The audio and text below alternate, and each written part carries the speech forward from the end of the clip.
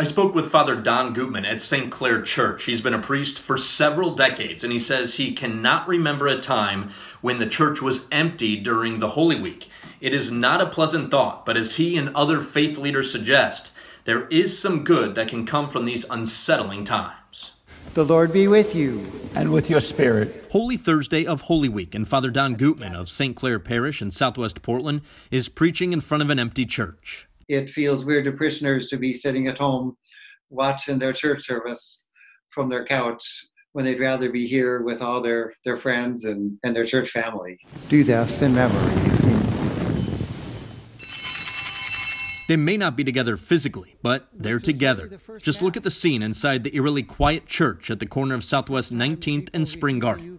We have pictures of everybody in the parish taped to the pews in the church, and it looks great to see it, but those are just pictures, and it's not real people. That you have all the things that you need for this moment in our Seder. That feeling of emptiness is shared by the Jewish community, currently celebrating Passover.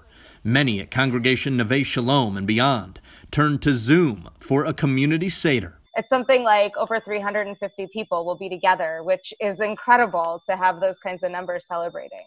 Rabbi Eve Posen would have preferred celebrating with the congregation in person, but she says there's something refreshing about this year's Passover playing out online. Now you've got families from East Coast to West Coast and all over the world connecting to have a communal meal and celebrate the holidays together. The celebrations, the rabbi says, can provide a break from our lives that have been turned upside down.